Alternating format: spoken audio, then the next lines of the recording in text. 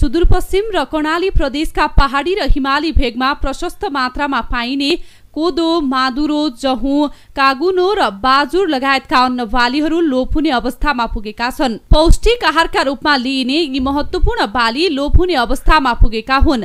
समयसँगै फेरिएको कृषि गर्ने तरिका र बाली नालीका कारण स्वास्थ्यका लागि अति महत्वपूर्ण बालीहरू पनि ओझेलमा परेका छन्। बैतडीको तल्लो सोराड क्षेत्रमा पर्ने शिवनाथ र पञ्चेश्वर गाउँपालिकामा अहिले पनि कहीँ कतै यी अन्नहरूको खेती भएको पाइन्छ तर यो तुलनात्मक रूपमा निकै कम खेती भइरहेको छ। कोदो माद्रो उत्पादन गर्न कृषकहरूलाई अनुदान दिएर हौसला प्रदान गरेर परम्परागत खेतीको संरक्षण गर्ने स्थानीय जनप्रतिनिधि बताउँदै आएका छन्। यी अन्नबाट पाइने पौष्टिक तत्वको बारेमा किसानलाई जानकारी नभएकाले यो खेती लोप हुँदै गएको पाइन्छ। परम्परागत बालीको महत्वका बारेमा जानकारी गराई यी बालीहरूलाई व्यवस्थित तरिकाले उत्पादन बजारीकरण र यसबाट बन्ने विभिन्न परिकारको बारेमा जानकारी गराई यस्ता बालीको संरक्षण गर्नु जरुरी देखिन्छ।